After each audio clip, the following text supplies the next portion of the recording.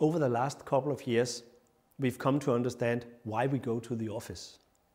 Because in the old days, you went to the office because that was where the typewriter was, that was where your, your desk was, that was actually a place you went to to work. Today, we can work everywhere. I work at my kitchen bank back home, I work at the Starbucks cafe, but the only place I meet my colleagues is in the office. So I go there to share my ideas, to show my designs, to, to, have, to have fun with my colleagues and to share bright ideas. So when I go there, it's a place I want to be creative, I want to feel good, and that's why the well-being trends is starting to be so massive in lighting that when you specify, people want, of course, enough light to do whatever, but they want to feel good. They want to look good. They want to be able to read the emotions in your colleague's face.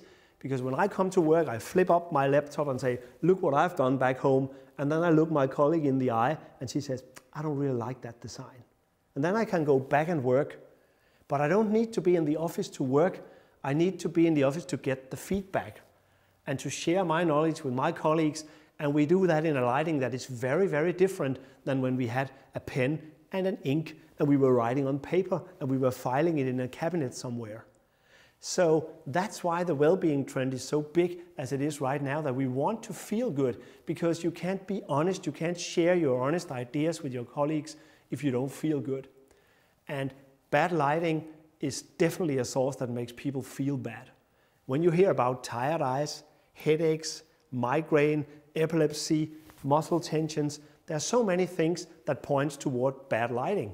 So if you hear one of these things from your colleagues, it's probably because either their position in relation to the lighting isn't good or the overall lighting design could have been better. So think about that when you look at the well-being standard and people ask about these things, that it's about doing good lighting design that, um, that fulfills human needs.